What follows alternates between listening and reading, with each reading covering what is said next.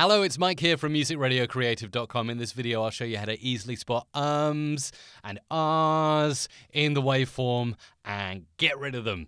Let's head into the uh, waveform view now of Adobe Audition, and I'm going to record a quick talk.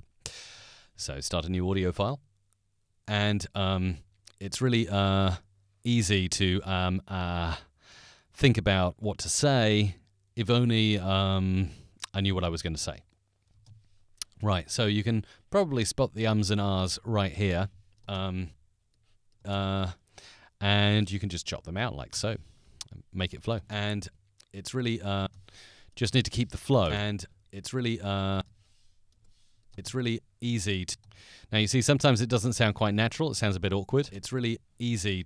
So try and match that up. That might actually work nicely by cutting the whole silence out there. It's really easy.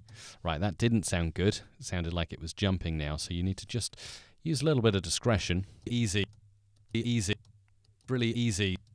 There we go. We're getting there. We are slowly and surely getting there. Really easy to, really easy to, um, uh, there we go. Cut out those it's really easy to think about. what It's really easy to think about.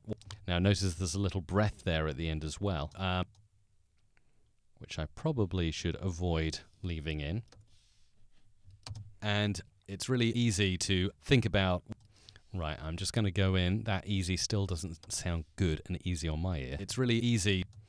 One more time, going right in. Try and match the peak of the wave uh, to the other peak, and then you get a nice smooth edit. It's really easy to.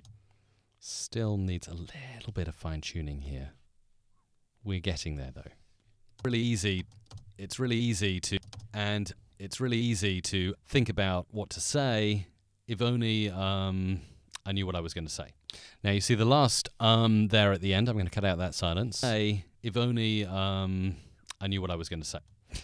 You see, this is the worst kind of um because actually the word has rolled into the um, so it's hard to edit out the um without making it sound unnatural. Let's try.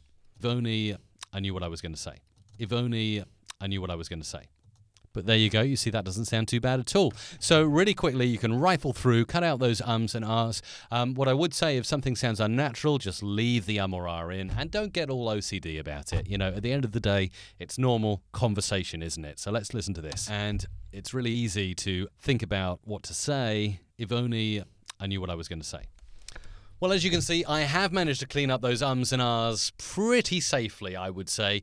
But um, I'm not quite happy with the edit between it's really easy. So do you know what? I might just edit that back and leave the natural um or ah in there. Like I say, if it doesn't sound good, leave it in.